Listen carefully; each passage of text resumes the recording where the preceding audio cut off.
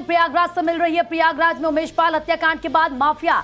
अतीक अहमद के गुर्गों पर UP police की कार्रवाई लगातार जारी है। आज यूपी पुलिस गुड्डू मुस्लिम के घर की कुर्की कर सकती है और इससे पहले प्रयागराज डेवलपमेंट अथॉरिटी ने गुड्डू मुस्लिम के घर पर नोटिस चस्पा किया था कि गुड्डू मुस्लिम उमेश पाल हत्याकांड में आरोपी है और अब वहाँ कार्रवाई की जाएगी। तो बड़ी खबर आपको बता रहे गुड्डू मुस्लिम पर कार्रवाई हो सकती है घर को कुर्क किया जा सकता है। तो अतीक अहमद के दोनों नाबालिग बेटे बाल संरक्षण गृह में हैं। दरअसल धूमनगंज पुलिस ने सीजीएम कोर्ट में रिपोर्ट पेश की है।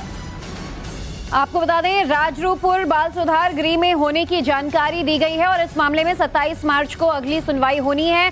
सहयोगी आशुतोष हमारे साथ इस वक्त जुड़ चुके हैं, उनसे ज़्यादा जानकारी लेंगे। आशुतोष, लगातार कार्रवाई उमेश पाल हत्याकांड में जारी है, लेकिन आज बड़ी कार्रवाई, गुड्डू मुस्लिम के यहाँ जब उसके घर की कुर्की की होगी जिस पर नज़र बनी हुई थी क्योंकि काफ़ी दिन हो चुके थे नोटिस लगाए हुए लेकिन कोई जवाब उनके परिवार की तरफ़ से नहीं मिला।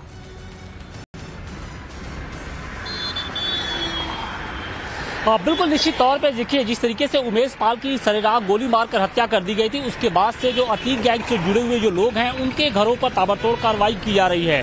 इसके पहले हमने देखा था कि जो चार लोग थे, उनके घरों पर कार्रवाई की गई थी बुलडोजर की। और आज जो सबसे अहम जो शूट आउट में एक शूटर था गुड्डू मुस्लिम, उसके घर पर नोटिस जो कुर्की की कार्रवाई है, वो संभावित बताई जा रही है। बताया ये जा रहा है कि इसका ये करेली इलाके में इसका घर है और घर चूँकि सड़क से काफ़ी अंदर है, गली में है, वहाँ तक बुलडोजर का पहुँच पाना मुमकिन नहीं है। इस वजह से संभव यह है कि या तो कुर्की की कार्रवाई की जाए, या फिर हथौड़े के ज़रिए उसके धीरे धीरे उसके मकान को डिमोलिश किया जाए। तो जो बड़ी कार्रवाई है, अब वो धीरे धीरे शुरू हो चुकी है क्योंकि इसके पहले हमने देखा था कि जो मोहम्मद गुलाम था उसके घर को जबीदोज किया गया था और अब जो दूसरा जो मेन शूटर बताया जा रहा है गुड्डू मुस्लिम उसके घर पर अब जो कार्रवाई का जो दायरा है वो अब बढ़ेगा। और इसके साथ ही न सिर्फ़ मोहम्मद गुलाम गुड्डू मुस्लिम इसके साथ ही अतीक अहमद गैंग से जुड़े हुए जो भी प्रॉपर्टी डीलर हैं जो अवैध तरीके से प्रॉपर्टी का काम करते थे उनके घरों को भी चिन्हित कर लिया गया है उनके